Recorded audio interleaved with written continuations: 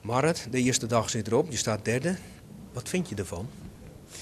Nou, het was gewoon een hele nette dag. Het was niet, eh, niet bijzonder.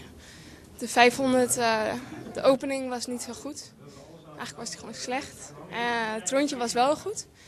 Dus ja, ik was wel tevreden over nou het resultaat van de 500 eigenlijk.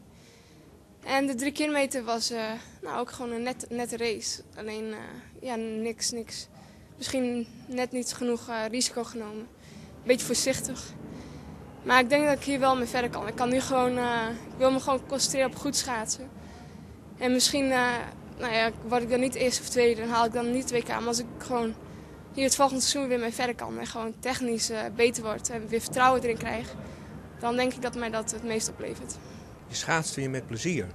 Ja, ja. het is nog wel moeilijk.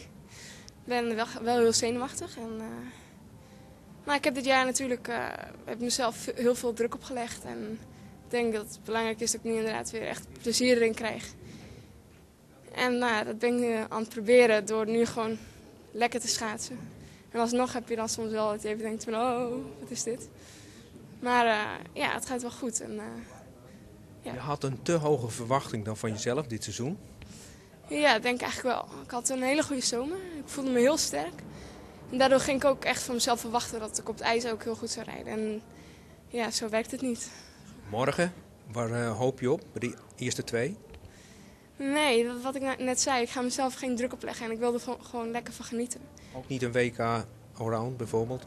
Nee, dus ook eh, tegelijk met WK's en Caneo's. En dan kan ik ook een prima wedstrijd rijden. En natuurlijk zou het fantastisch zijn om WK te rijden. Maar daar, ga ik, nee, daar ben ik eigenlijk niet mee bezig. Ik wil gewoon morgen een goede opening. Kijken of ik dat weer kan verbeteren ten opzichte van vandaag. En dan gewoon lekker diep zitten en goed cijfers afzetten. En gewoon het gevoel, het, dat wat schaatsen eigenlijk leuk maakt, om dat weer terug te krijgen.